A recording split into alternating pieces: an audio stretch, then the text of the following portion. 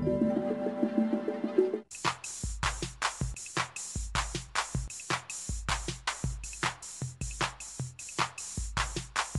Good evening from Rocky Mountain PBS. I'm Cynthia Hessin. Thanks for joining us for Colorado State of Mind.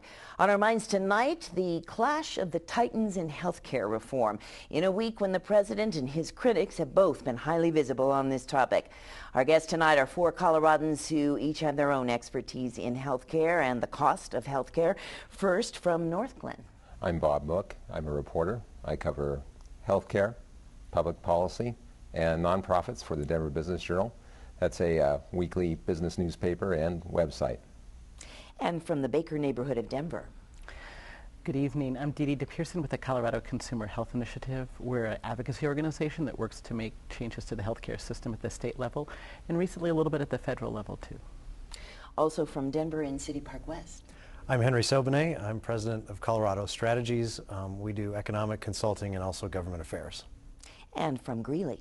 I'm Mark Wallace. I am a public health practitioner and a family physician. I've worked with uninsured patients for about 20 years and serve as the president of a coalition in northern Colorado pulling together an integrated care system for un and underinsured people.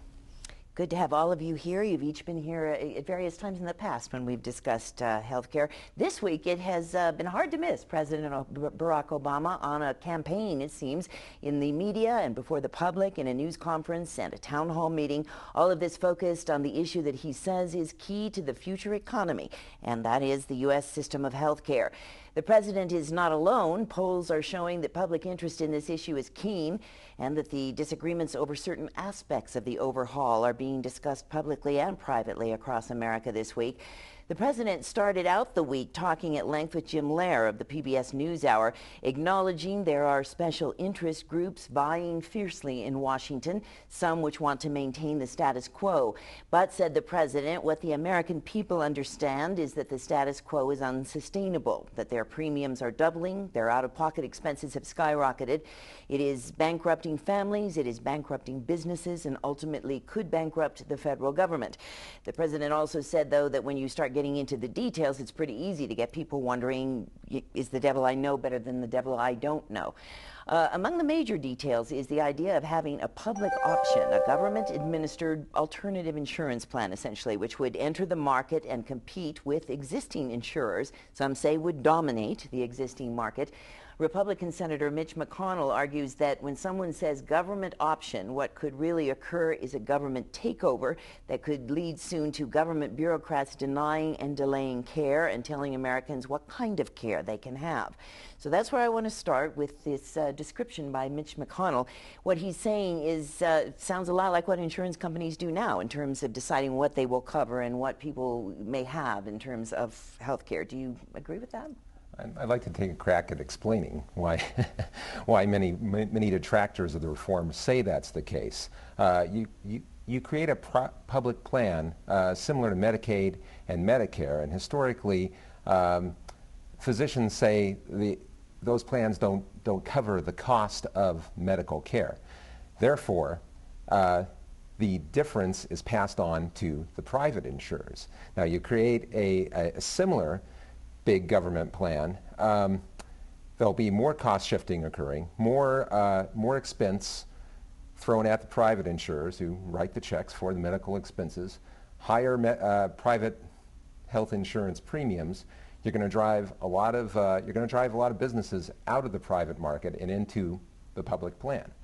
So that's sort of the spiral that uh, at least the insurance carriers are concerned about.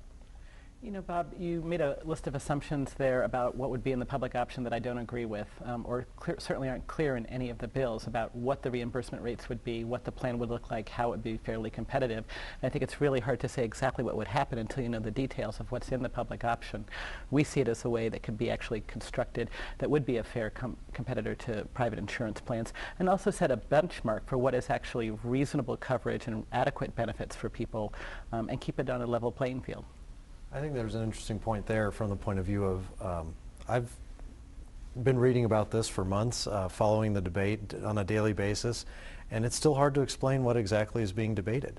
Um, I don't think there is a comprehensive plan you can just go and look at and very easily digest what's in it. And so um, the, the unknowns are looming large, and so we finally got to a place um, recently where the, um, the Congressional Budget Office um, released some figures in terms of what they thought the plans as they exist now or the legislation as it exists now would cost. And um, it's, it's more than people had thought would be there. They thought there'd be other savings. So it's these unknowns that are still in there and they, they don't have any offsets just yet uh, to, to um, defray the, the, the cost of expanding the coverage. Well, I think it's interesting because um, when you look at public plans that are around today, Medicare, and you talk to Medicare recipients, for the most part, they're fairly satisfied with the benefit plan that they have. Um, and one of the costs that doesn't get surfaced out there very clearly is the costs that we're paying today. When people talk about the status quo, it's sort of interesting to me because going on in the background all the time are changes.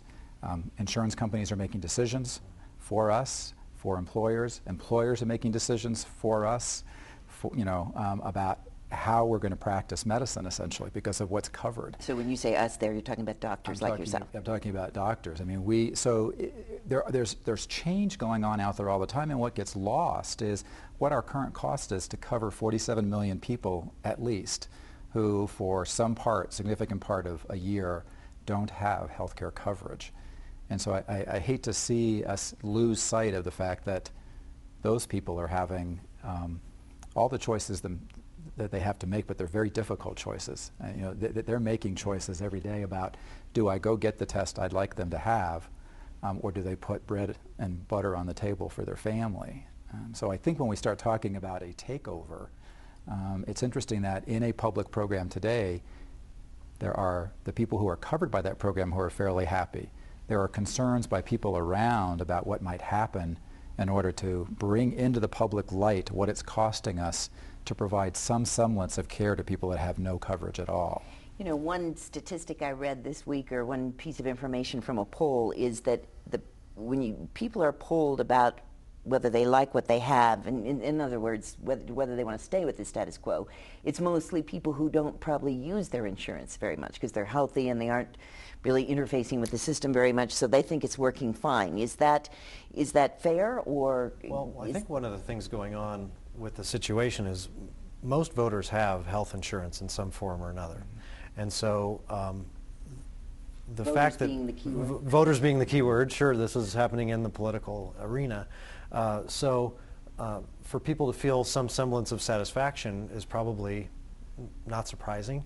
Uh, and so therefore, changing what we have, um, there's kind of a what's in it for me uh, on the part of the majority of people who have some sort of coverage from some place. It might even be the government, but um, the, the what's in it for me if the extra 10% or 15% of the public gets covered.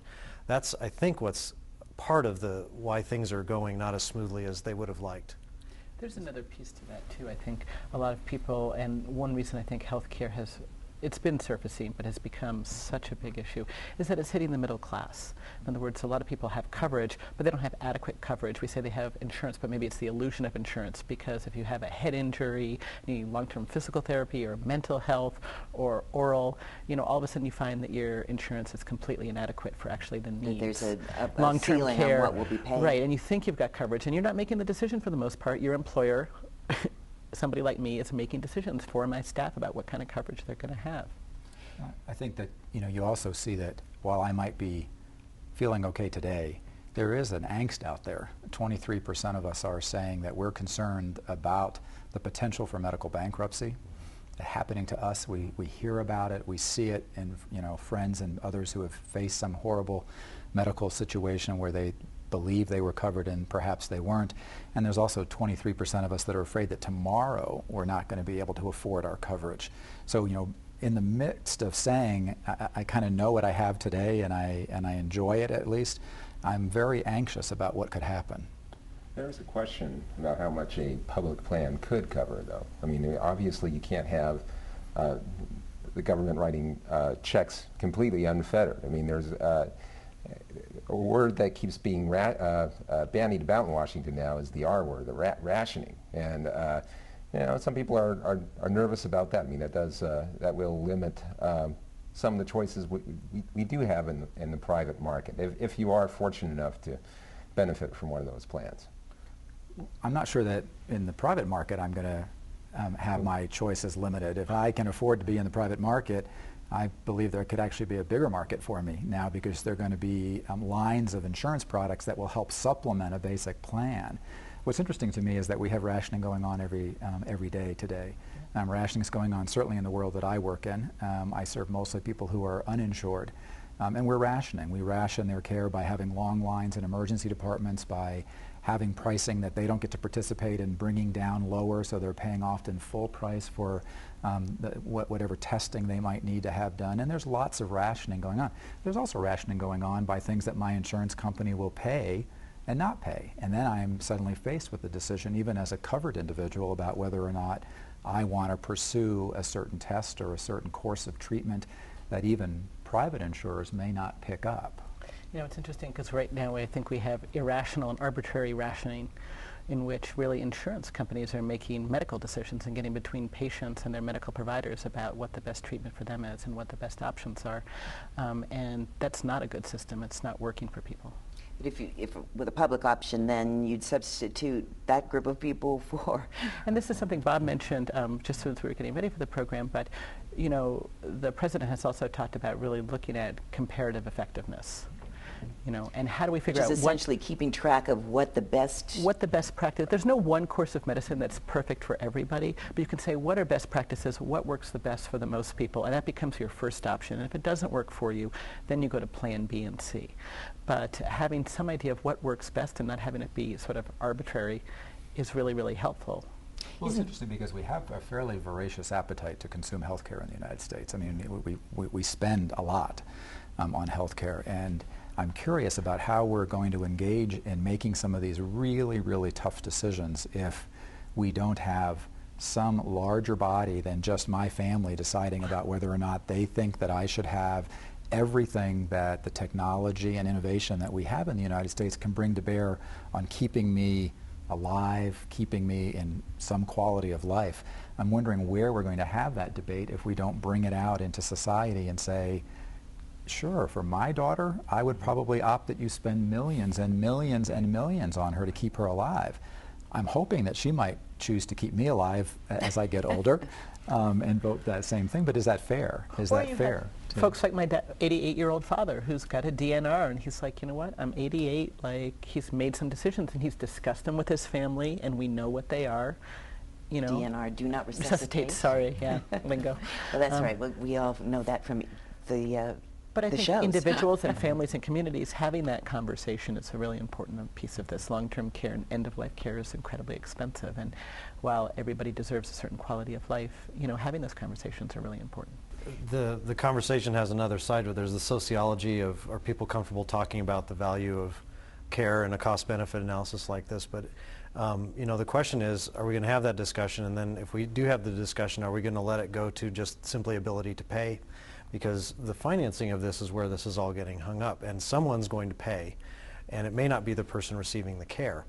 So um, if it were solvable, we probably would have solved it. and so you, we're ending up in this loop. And so my suspicion is if this current initiative doesn't succeed in the way they're envisioning is maybe they chop it up into bite-sized chunks and maybe medical bankruptcy, reinsurance from the federal government um, to, to backstop against that thing because that seems to be the, the most palpable visceral fear of people. You can't predict what might or might not happen. And so if we take that eventuality away from folks, maybe that's the, the stepping stone to move ahead. I think it'll be necessary. It's interesting because this is a very personal issue um, when you get to healthcare, especially when you are now ill and you're trying to make these decisions. But valuing of life is going on all around us every day. Um, governments today at federal, state, local levels are making values on human life at all times. There was a discussion about putting seatbelts into school buses. Um, and it came down to what is the value of, of a life. Um, it would have been very costly to mandate that all school buses have seatbelts. And there was a calculation of how many lives would be saved by the cost to have all school buses have seatbelts, and a decision was made that it wasn't valuable enough to do that. Um, it's going on with paving roads, it's going on with public safety, it's going on with all sorts of decisions where we do today have somebody making a, a, value judgment on life, but it's not as in front of us as it becomes when we're talking about health care. and now I have the diagnosis of cancer. There is a drug to treat me. It will only keep me alive for two more months, and it costs $54,000. Then it becomes very, very personal. Hmm. You know, and Mark brought up a really good point, which is the role of public health in all of this, which is it's really been focused a lot, and really what we're talking about is health insurance reform at this point in time. But there are other pieces. There's public health in particular that has a role to play as we think about prevention, as we think about wellness, as we think about creating healthy communities and healthy families. Um, and I think that when we talk about the costs too, we're talking about sort of tangible costs, the cost of insurance, the cost of out-of-pocket um, that people are paying. But the other cost is, you know, healthy communities, healthy families, productive workers, all those less tangible costs that are also really important in the state and at the federal level and globally. Henry, um, as an economist, what do you think about the idea of, um, I guess it's considered a double mandate in some European countries where everyone has to have coverage and every company has to insure people who want to be insured. Um, would that be, would that work here? I think from a, the concept of insurance, um, the more people in, the better for the system. Um, so like car insurance, um, everybody's in, and when you have a problem or an incident, you know, because everyone's been paying in and there's an actuarial kind of table that how many people are going to get in a wreck, and so that they've got a, a solvent fund to account for that.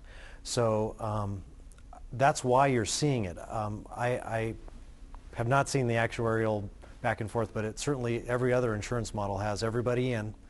Um, and but the the the trick of this is that they're asking people to cover people who might not fit the exact risk profile if they had full control over who they'd let in and who they'd let out. So that's the piece where I think there's the pushback is um, you can't deny anyone coverage. Well, what's the backstop or and what's the how much coverage does that person get even if they're in and they might not have been in but for the mandate. It's So, pretty yeah, complex, it's- as com- e- economical things are. Um, bringing the cost to more a, a level that we maybe all understand. Dee, you mentioned before we started taping about how it is for you as a small business, essentially. You, Mm-hmm. it's a nonprofit, um, but It's tough. Um, you know, first of all, because I run a consumer healthcare advocacy organization, we don't have the option of, say, dropping insurance. That is a choice It that some look so businesses make. But we pay for insurance in my organization four different ways. And first of all, you know, I talk to staff, but I make the decisions really about what the budget is and what we can afford. We cover 100%, but we pay for health insurance, and then we pay for dental insurance, and then we pay for long and short-term disability separately, and then we pay workers' compensation. So the amount that I pay for staff is really a significant part of payroll. And when you start to think about something like an employer mandate, but something that is predictable and fair and is a straight percentage of payroll, like 10%, that starts to look really attractive to me. I know what it is every year. I can budget for it. If I'm a small business, I can build a business model that says I know what this cost is going to be every year, as opposed to this year it goes up 25%, it goes 30, it goes 8, you know, it goes all over the place. Um, and it's really hard to budget for that. what other personal experiences can we describe here? Well, we have a similar situation in some of our clinics where we are self-insured and we are trying to provide, you know, you see amongst most employers a desire to provide coverage. We want to do that for our employees. Healthy employees make a huge difference in how we can perform. Um, and we, in looking at who's uninsured, we have significant concern when we look at our employees who can't afford um, to buy the coverage that, that we have, that we can offer. I mean, one of the ways that we're trying to balance keeping fairly robust kinds of plans for them is we've had to pass on more to the employees in order to keep this sort of option. And we increasingly have folks who are very important to our organization um, who um, are at uh, our entry-level jobs who have to say, I can't even afford that small amount that you're asking me to contribute and certainly can't afford the amount you're asking me to cover my family under. And they're working very hard. Um, and I think that's part of some of the misperception out there at times about who are the uninsured. They are people who are working in my office, in a medical practitioner's office, um, where we offer a plan, but we can't compete um, and be fair in any other way but to help share some of these costs. And we're sitting here struggling now, listening to our employees who are saying, well, gosh, maybe if you just gave me this much money every month and let me go get some coverage, it might be a catastrophic plan. Um, they might choose coverage at that point in time. But we've got other employees who are sitting there saying, oh, please don't do that. You know, they're of that large percentage that say, I'm really happy with what you're doing for me right now. Um, but we have this constant battle um, to try and keep our employees in a healthcare business covered. And that's why, that's why the uh, subsidy component that's mentioned, um, I, I, don't- I don't know where it is right now. The plan's changing so much. I mean, that, that makes perfect sense. Um, employers, most employers do provide uh, health coverage. I think uh, at least an early draft of the, uh, I think it was the House bill or Senate bill, had an actual percentage of the premiums that employers are supposed to cover. And again, uh, I think one, a minimum of 72.5 percent. Uh, that, that could be uh, that could be very uh, financially uh, harmful for, for a business, especially uh, like Dede was mentioning with the sort of escalating uh, cost of, of health premiums. But maybe- Well, we've provided um, tax incentives to be sure that businesses, you know, there is a Sure. reason to, That's aside from wanting healthy workers and, Yeah. you know, sort of the concept of health and how it drives our economy, there, there is a financial benefit to a that's company. effectively a and- $200 billion subsidy right there, just the, the write-off that Right. businesses get for providing that. Mm-hmm. Right. So we've mentioned a couple of times how probably a majority of people think they've got something right now, at least something they can hold on to. Then there are the 46, 47 million people who aren't insured. Who's paying for them? Well, that cost gets shifted. There's no money tree out in the back of emergency departments or in the back of, you know, public clinics that we can go and harvest on a regular basis. Um, obviously, the emergency rooms are open. Um, we're having um, a variety of ways that people pay for care in our setting. Some of it gets passed on to the rest of us who are insured, so our prices are, are higher for our coverage so that the folks that insurance companies are negotiating with will continue to participate and provide care. Um, we have a significant amount that does come out of people's pockets when we look at um, the people that we're providing care to. They're making those tough choices every day about what comes out of their pocket and what can they afford to get. Um, we do have um, some help coming in the form of grants where we can get some assistance in some big programs that we need to um, keep a safety net available so that we don't um, even more burden emergency departments and pass those costs on to, you know, in a very high cost environment. Um, but that contribution, there's a significant contribution coming from every one of us in this room um, who's insured. The other thing that struck me uh, reading about it this week is, you know, there are so many stakeholders, as we've said, um, the providers, the insurers, the insurees. I mean, certainly everyone uh, has an interest in this, um, and it's hard to see who, which of those groups is going to give up something. And do you feel as though it has to get, be every group, or do you have a thought, thought on I, that? I would think the best solution is going to have a little bit of pain across the board. um, because people will entrench and find a way to find fault. And I think um, it's just kind of the nature of compromises. You know, uh, we're part of a group here in the state called Partnership for Healthy Colorado, which is sort of a strange bedfellows group, includes insurers and brokers and consumer advocates and business. And we don't all agree on the solutions, but we all agree on the problem, that it's really not working for anybody right now. And so I think, you know, the idea of shared responsibility, but there's just a huge feeling that something has to be done because it's really not working, and it's working less and less every day for more and more people.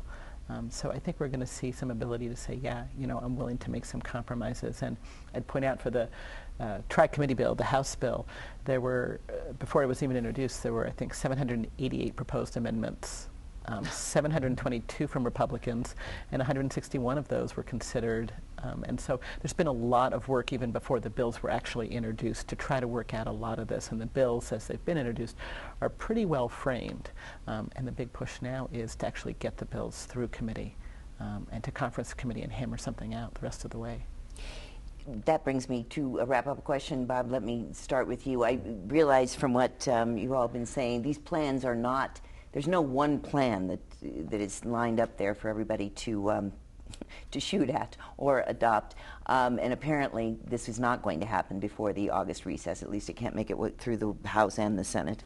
Uh, before August, which is what the president had had uh, hoped for. I guess what I'm asking you for is um, some sort of prediction. Do you think a plan, a bill, will be passed maybe in September?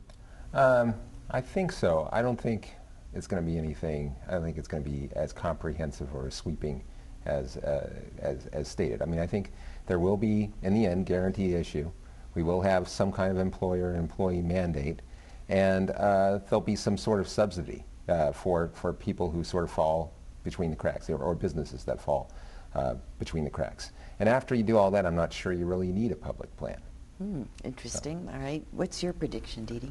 Um, I do think we're going to get something out, and I guess my message would be that Congress is going to go on recess. They'll be back in their districts, and I think it's really important for them to hear from people in their districts, people in the state, about how they feel about health care reform, that they think it's important that we sort of keep the fires underneath our legislators to get something done.